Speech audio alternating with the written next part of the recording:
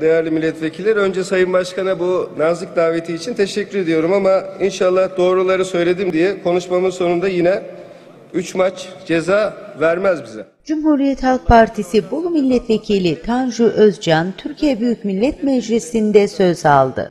Sizin bir özelliğinizi keşfettim maalesef. Siz ne zaman doğrular söylense şu kürsüden geriliyorsunuz, sinirleniyorsunuz.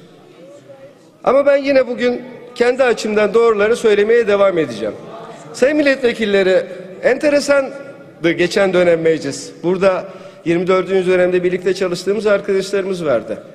Sizler çözüm süreci adında bir süreç başlatmıştınız. Meclis kürsüsünde konuşan Özcan, hükümete eleştirilerde bulundu. İşte bugün meclisi protesto eden HDP grubuyla koalisyon ortağı gibiydiniz. Hatırlıyorsunuz değil mi bunları?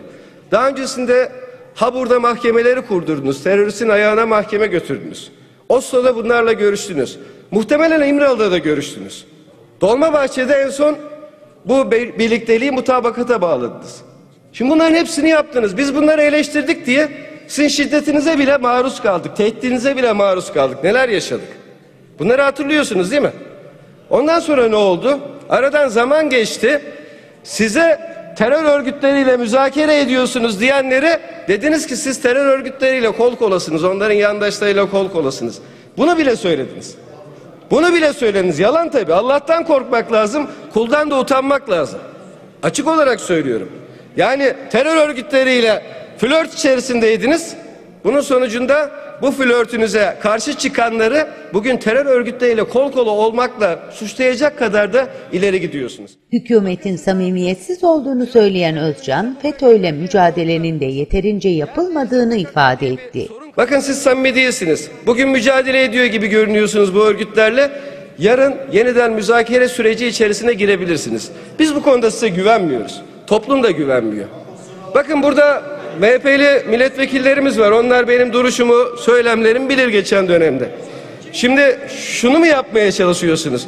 FETÖ denen zavallı bile sizi kandıracak. Siz de aklınızca MHP'lileri kandıracaksınız. MHP'li sayın milletvekilleri dostlarıma seslenmek istiyorum.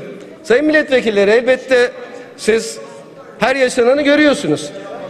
Bunları zannetmeyin ki bunlar gerçekten milliyetçi, gerçekten bölücü terör örgütüyle mücadele ediyorlar. Bunlar çakma milliyetçi. Bunlar her türlü milliyetçiliği ayaklar altına alan adamlar.